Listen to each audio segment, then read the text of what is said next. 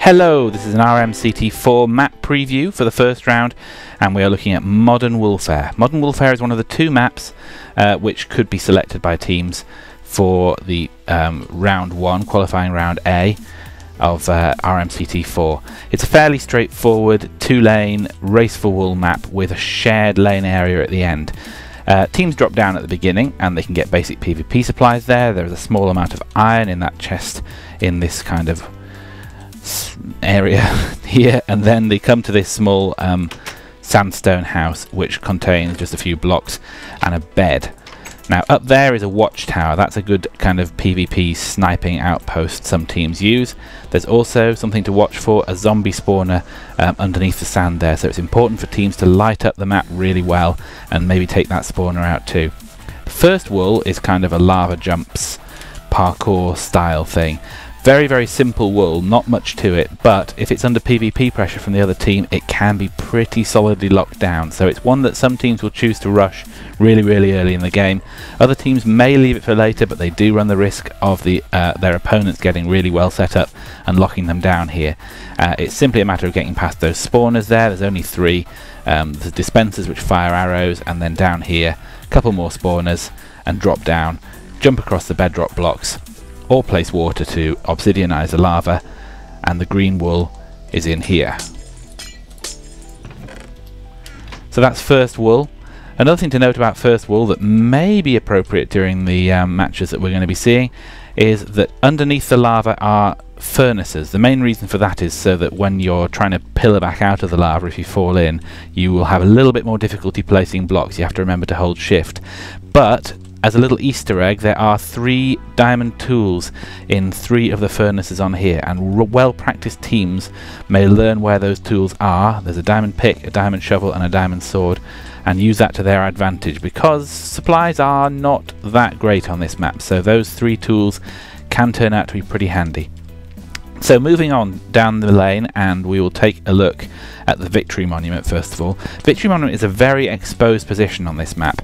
You place the three wools where these three glass blocks are on the top, but it's only on a surface of sand and sandstone. Very, very easy to cannon and we have seen many times uh, teams taking out this area of sand here, the sand kind of underneath the Victory Monument and also this kind of bridge here, whatever the opponent team puts up as a bridge there often gets cannon too. So it is really, really important that teams focus on getting themselves a safe route to the victory monument because we've often seen cannons being used to great effect here. Even if the other team has all the wool, if they can't get it to their monument, then they can't win the game. So that is quite a point of contention on this map. Down here below the watchtower there's like a resources area. This is something that we don't really see being used very often. There is a minecart trap, um, some items in this chest minecart here, a little bit of food and some leather and some bows. There are more resources further down and also this area offers a number of iron blocks which teams may choose to go for although more often than not that's something that teams tend to skip these days. Um, there's also some more food and bows and arrows and resources down there in that chest. Um, if one team does come down here, they're quite likely to hit the button to set off the minecart trap, which will destroy the um, equivalent resources over on the other side. As I mentioned, down in the ravine, there are the iron blocks, there's also a silverfish spawner and a skeleton spawner, uh, and the great difficulty with getting that iron really is the time it takes to pillar your way back out or tunnel your way back out after you've been and gone and collected it. So that tends to be something that a lot of teams don't really bother with. Now moving on to this area here, this is called the graveyard and in this area there are a number of graves um, all of which contain various different items. The graves are named after well-known YouTubers.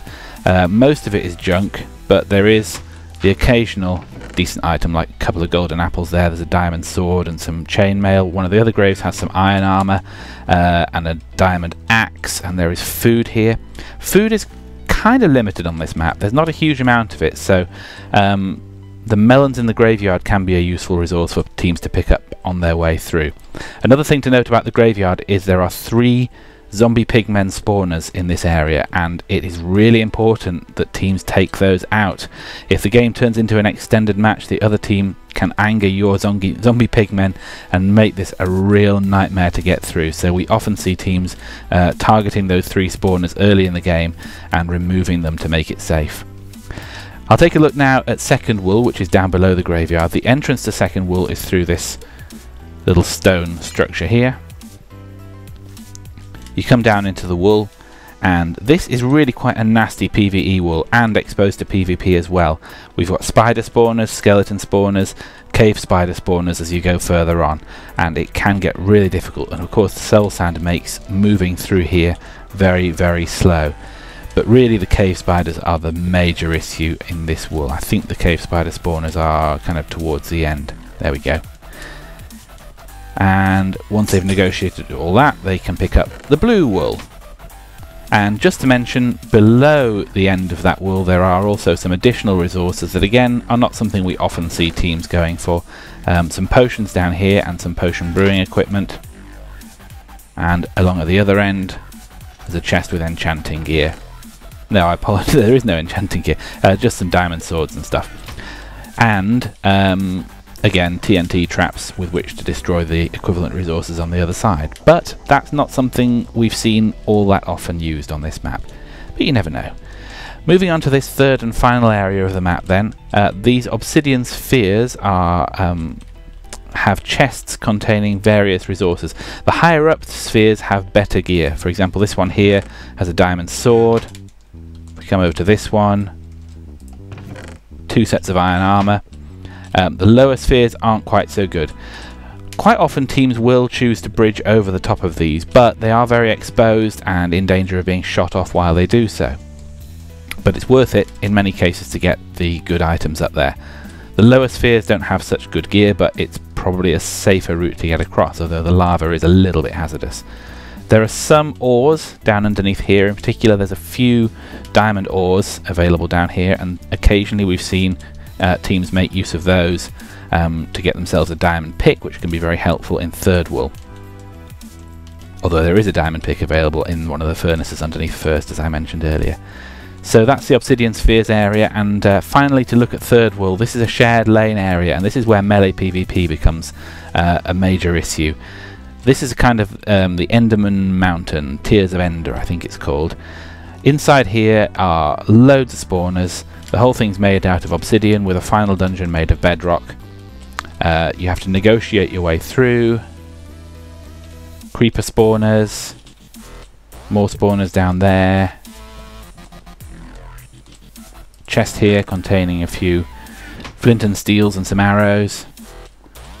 And then we come to this area down here. Now this area has got Enderman spawners, which um, could be an asset or could be a major disadvantage, and the two entrances to the wool rooms. And it's important that teams choose to go into their own wool room at this point, because if they accidentally go into the opposing team's lane, um, they will be destroyed by the plugin.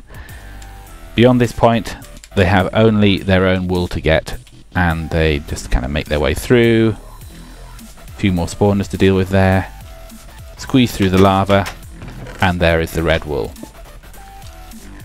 Now, this area in most of the games I've seen recently has been a very, very important location on the map. It tends to be the case that the, the, first team to get here is able to control the mountain and lock it down so the other team can't get on for a really, really long time. What we've often seen teams do is get themselves an iron bucket and then pick up some lava here and just pour it all over the opposing team's side of the mountain. So that is something that we'll see, I expect, is teams rushing really, really quickly to get to this part of the map.